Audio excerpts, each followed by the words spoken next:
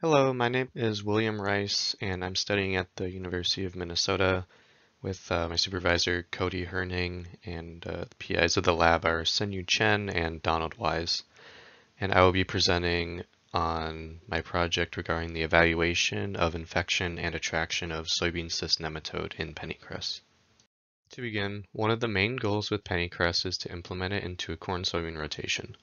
In order for that to be successful, we have to consider other pests that affect crops in that rotation. For this project, we looked into soybean cyst nematode, which is a major pest in soybean that causes around $1.5 billion in yield losses annually. In greenhouse studies, we have found that pennycress is an alternative host to soybean cyst nematode, so it is imperative we know how strongly pennycress attracts the pest. Population density for soybean cyst nematode in pennycress is about 20% of what is seen on susceptible soybean varieties. Here we have a diagram of the soybean cyst nematode life cycle. The life cycle begins at the cyst and then eggs are released from the cyst in the spring. Female juvenile then penetrates the root epidermis where it develops into an adult. The male adult then fertilizes the female that's embedded in the root. The female then releases her eggs in the matrix and then also keeps eggs inside of her body. The female will die and then detach from the root once again and becomes a cyst, which is the overwintering body. There exist two key developmental temperature constraints that are important for an overwintering crop like pennycress. Egg hatch and juvenile development does not occur until 10 degrees Celsius in the spring, and development in the root stops at 5 degrees Celsius going into the winter. My project had two experimental objectives. The first objective was to quantify juvenile infection in pennycress roots and the second objective was to determine the attraction or repulsion of soybean cyst nematode juveniles to root exudates. In the image on the right, we see a plant releasing exudates into the rhizosphere with nematodes in close proximity being attracted. And in that red circle, we can see the exudates in, this, in the rhizosphere. And in the lower right of the image, we can see a J2 nematode infection in the roots. And we can see the individuals penetrating the root epidermis. For the juvenile infection portion of the project, we collected plants from two locations. The first being from field microplots in St. Paul, Minnesota, which we can see an example of directly to the right. The soil has a population of about 4,000 eggs per 100 cubic centimeters. The greenhouse plants were inoculated with about 1,000 J2 nematodes per cone. To the right, below the photo of the microplot, is an image of the greenhouse treatments being inoculated. Subsamples of 0.25 grams of root were collected and stained. From there, the number of juveniles in the roots were counted under the dissecting microscope, and there's an example of what the nematodes in the roots would look like at the bottom right of the slide. Here we have two figures depicting juvenile nematode infection in field microplots on the left and in the greenhouse on the right. The treatments are composed of pennycress and a susceptible soybean variety. On the y-axis, we observe the number of juvenile individuals residing in 1 gram of either soybean or pennycress root.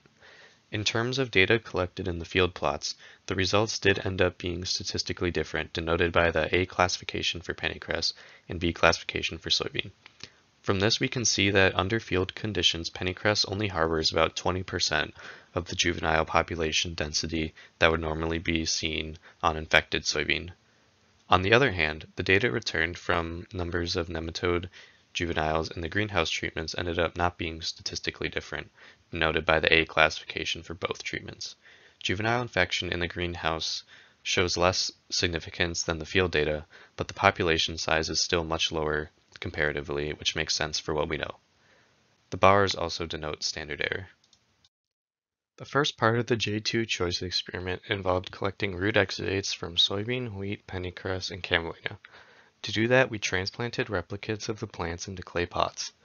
We placed the pots over large beakers that had 100 milliliters of DI water poured over the soil surface, which drained through the, into the beakers for collection. The exudates were then filtered and stored in, in the freezer until needed.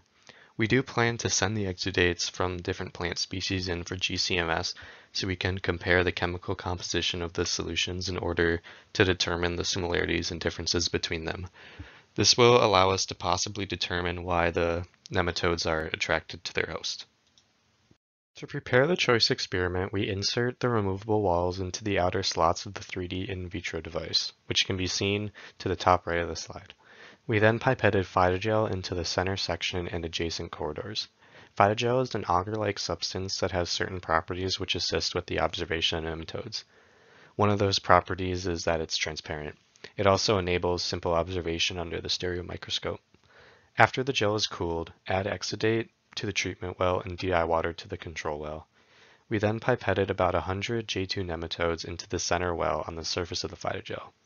We then left that for 24 hours in a temperature and humidity controlled chamber. After that 24-hour period's up, we counted the J2s in each well using the stereo microscope, and an example of how the nematodes appears to the right in the image with the red circle. On the right of the slide is the 3D in vitro choice device. There are three wells separated by a corridor on either side. Nematodes are pipetted into the neutral zone on top of the phytogel and the treatment and control are pipetted into zone A and B respectively. The nematodes can then swim toward either stimulus. Once they get or once they enter the outer wells, they cannot escape due to sliding off the phytogel surface and becoming trapped. To evaluate the data, we calculated chemotaxis index.